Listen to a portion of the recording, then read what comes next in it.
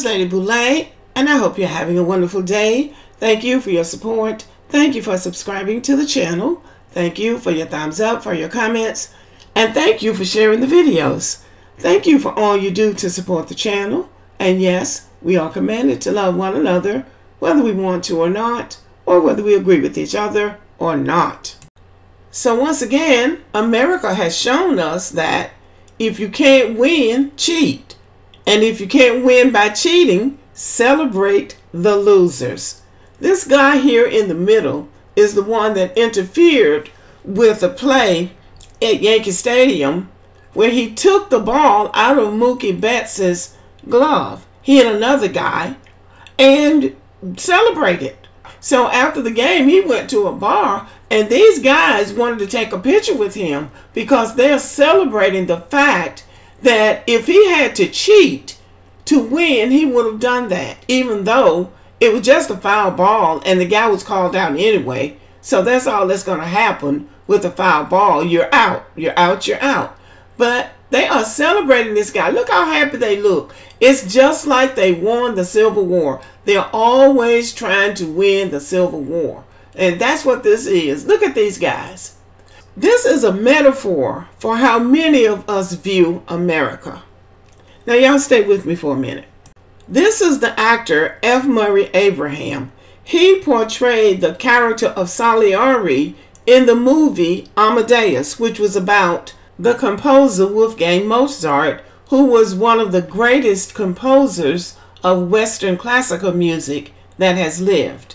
Salieri was the music composer of the day until Mozart showed up and showed true genius as a musical composer. Salieri sat back and watched as Mozart composed compositions that he just simply was not capable of doing.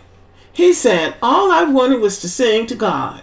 He gave me that longing and then made me mute. Why? Tell me that. If he didn't want me to praise him with music, why implant the desire, like a lust in my body, and then deny me the talent?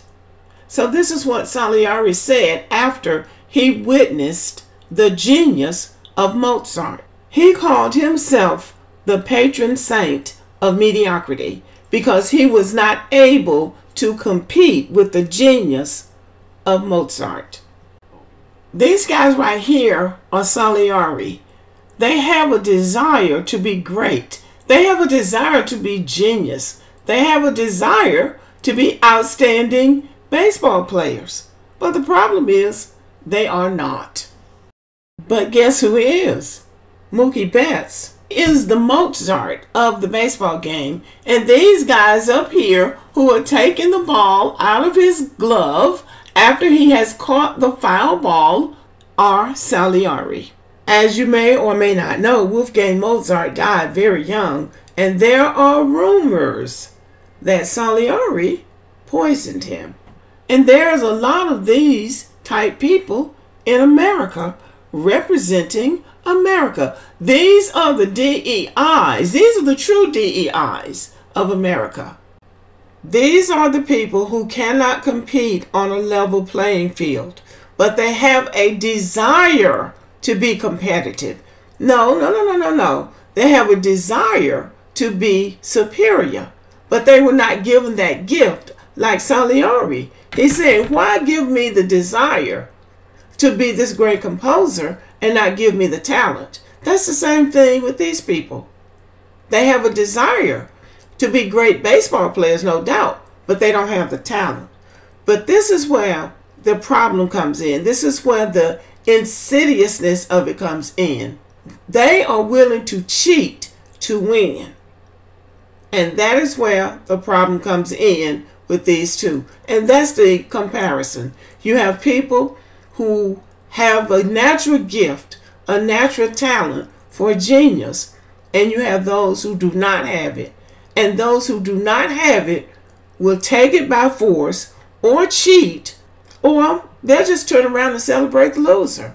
They will turn around and celebrate mediocrity. So, America, drink a toast to the patron saints of mediocrity. And just to end the video on a high note, the Los Angeles Dodgers defeat the New York Yankees in five games to win the World Series. So, see, sometimes even cheating doesn't work. All right, y'all, thank you for listening. Let me know what you think about the video. Give me a thumbs up and have a great day.